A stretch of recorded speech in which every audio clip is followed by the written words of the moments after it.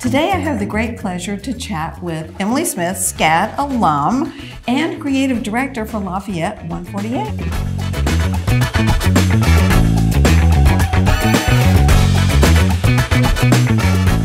Tell me, what is a creative director? I mean, what's your role like? It is anything that deals with the creative aspect of the brand. So building the brand image, the brand, brand direction, starting from the concept of the collection to every touch point that goes to our customers. So that oversees all the photo shoots, all of the product categories, the store design, the store experience, everything that's related that is uh, sort of an aspect of, of what our customer experiences from the brand.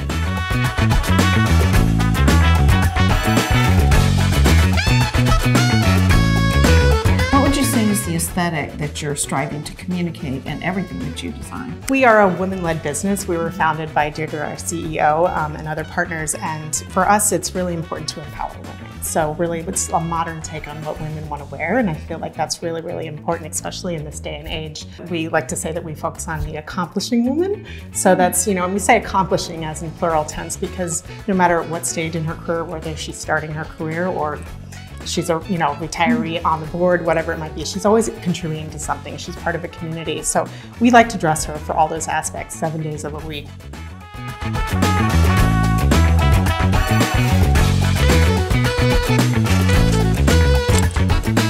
What's a day in the life like for a creative director? I mean, you must have many different things that happen, but um, is there a typical day, more or less? There's no typical day. um, it depends on where, where, we are in the season. We're usually, my team and I are usually working on three seasons at once. Wow. Um, it can be from the conceptual stage to the actual samples that we're making to really working with the marketing team to present it, to create the photo shoots, mm -hmm. to really delivering it into the stores. So there's a lot of different processes that go along the way. And it can be quite difficult to kind of change gears and jump back and forth to this collection, to this collection, to speaking to people, mm -hmm. doing interviews, mentoring the team. Mm -hmm. It's all aspects to it. So, Emily, there is the fashion side and the aesthetics, and there's also the business side. Um, how do you meld those two? It's easy to be creative and just focus on fashion. It's also easy just to focus on the business. But when you have to balance the two, there's really an art form to that. Yes. It's like, you know, trying to know your customer. It's always knowing who she is, what she wants from you, and sort of anticipating what she doesn't know she wants. So mm -hmm. that's where you can kind Ooh, of see. That's so important. Anticipating yeah. that what she doesn't know she wants. Like, yes. how do you do that? You have to get in her mind. You do. You have yeah. to really get into the psyche of who she is and, and what her life is like, mm -hmm. for sure. So that requires a lot of help from your sales team telling you what's working, what's not working, but also your own personal insight. And that's the creativity that we bring from being out, seeing what's going on, sort mm -hmm. of mm-hmm. knowing what's coming, smelling what's coming, and being able to sort of meld the two together. Mm -hmm.